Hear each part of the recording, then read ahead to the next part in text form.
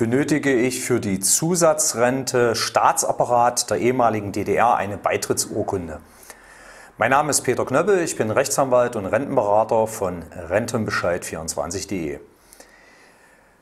Wir haben schon in einem Textbeitrag auf Rentenbescheid24.de äh, kurz davon berichtet. Am 14. März diesen Jahres 2019 wird das Bundessozialgericht in einer äh, Gerichtsverhandlungen darüber zu entscheiden haben, ob ähm, ehemalige Mitarbeiter des äh, Staatsapparats der ehemaligen DDR Anspruch auf eine zusätzliche Altersversorgung haben, also quasi eine zusätzliche Rente haben, wenn sie äh, in diesem System gearbeitet haben und ob es notwendig ist, dass sie für diese freiwillige zusätzliche Altersversorgung einen sogenannten Beitragsnachweis oder Beitrittsurkunde ähm, als Nachweis erbringen müssen.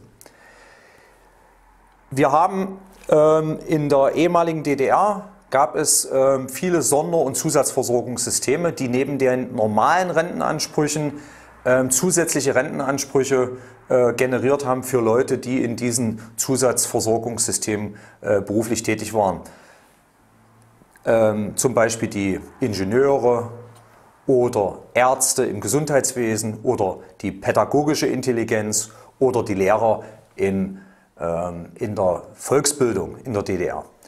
Und äh, ein ganz großes Gebiet in der ehemaligen DDR war der sogenannte Staatsapparat. Das ist vorsichtig ausgedrückt zu vergleichen mit dem öffentlichen Dienst, der heute ähm, da ist. Also es gab in der DDR ähm, die Ministerien, es gab den Rat des, des, Bezirkes, Rat des Kreises und Rat der Gemeinde. Und dort haben viele, viele Menschen gearbeitet und äh, einige von denen haben nach der Wende oder vor der Wende dann sozusagen Beitrittsurkunden gehabt. Die sind dann aufgenommen worden in diese zusätzliche Versorgung und haben dann äh, im Rentenstand hier zusätzliche Rentenansprüche erwerben können. Der Rentenversicherungsträger für diese Zusatzrenten ist die Deutsche Rentenversicherung Bund, Träger der Zusatz- und Sonderversorgungssysteme.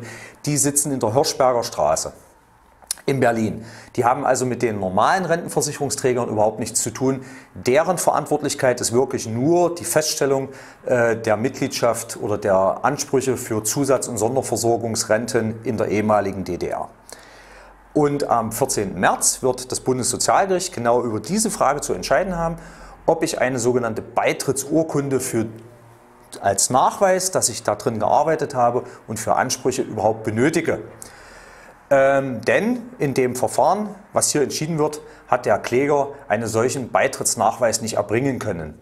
Ähm, Ähnliche Fragen hatten wir damals auch in den Gerichtsverfahren beim BSG zu entscheiden im Hinblick auf die abgeleitete Intelligenzrente.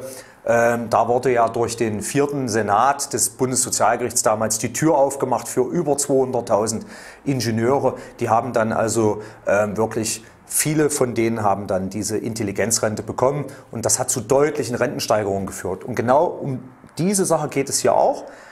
Und ähm, wir werden selbstverständlich dann nach Ablauf der mündlichen Verhandlungen am 14. März diesen Jahres 2019 auch nochmal darüber äh, berichten und Ihnen mitteilen, ob und wie die Sache ausgegangen ist. Für den Fall, dass Sie keine Beitrittsurkunde brauchen, wenn das das BSG so entscheiden sollte, ähm, gehen wir davon aus, dass mehrere 10.000 Menschen, Versicherte und auch Hinterbliebene hier Ansprüche geltend machen können. Und deshalb ist dieses Verfahren aus unserer Sicht für die Praxis so wichtig und auch für die Versicherten so wichtig. Näheres zu diesem Thema finden Sie auf www.rentenbescheid24.de. Ich wünsche Ihnen eine rentenstarke Woche. Mein Name ist Peter Knöppel, Rechtsanwalt und Rentenberater.